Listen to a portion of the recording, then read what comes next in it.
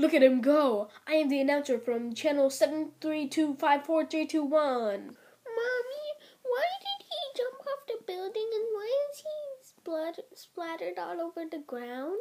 Yep, he committed suicide. But why? He knew he was the worst.